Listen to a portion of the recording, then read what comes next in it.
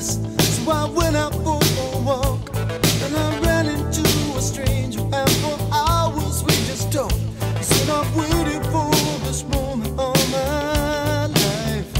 This is it. And when I asked him,